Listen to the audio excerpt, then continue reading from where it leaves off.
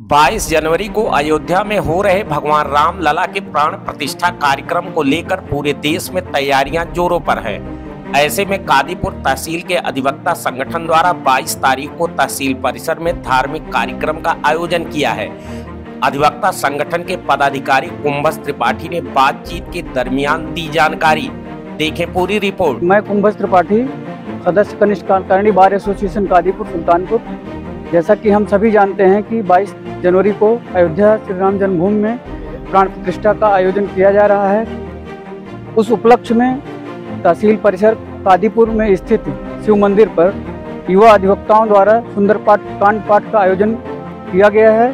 संगीत में सुंदर पाठ का आयोजन किया गया है, जिसमें हम चाहते हैं कि आप सभी लोग उपस्थित हों और न उपस्थित होने की दशा में आप जहाँ पर भी हों, उस नज़दीकी वहाँ नज़दीक मंदिर पर जाएँ और श्री राम का पूजन करें, अर्चन करें और प्रसाद ग्रहण करें।